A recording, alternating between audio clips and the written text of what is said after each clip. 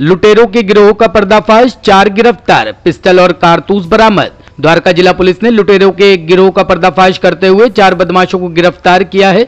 बदमाशों के कब्जे से छह सोने की चैन, तीन मोबाइल फ़ोन, तीन चोरी की मोटरसाइकिलें भी बरामद की गई है। इनकी गिरफ्तारी से लूटपाट, स्नैचिंग, वाहन चोरी और शस्त्र अधिनियम के कुल तेईस मामलों का खुलासा हुआ है। पकड़े गए आरोपियों की पहचान अनिल अवधेश सिकंदर और राजू के रूप में हुई है।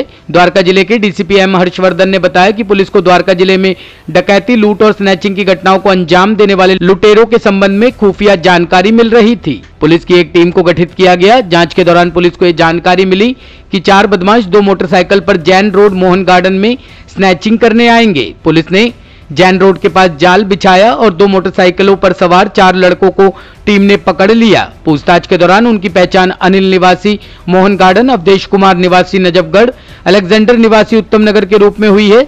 तलाशी के दौरान आरोपी अनिल और अवधेश के पास से दो देसी पिस्टल बरामद हुई है। पुलिस पूछताछ के दौरान उनके पास से कुल पाँच लूटी गई सोने की चैन, मुथुट फाइनेंस की एक पर्ची और तीन लूटे गए मोबाइल फ़ोन भी बरामद किए गए। इसके अलावा बदमाशों के गिरोह ने विकासपुरी और जनकपुरी के आसपास के क्षेत्र में किए गए अपराधों में अपनी संलिप्तता का खुलासा किया। अनिल थाना मोहन गार्डन का घोषित बदमाश है और पहले लूटपाट के चौदह मामलों में शामिल रहा था।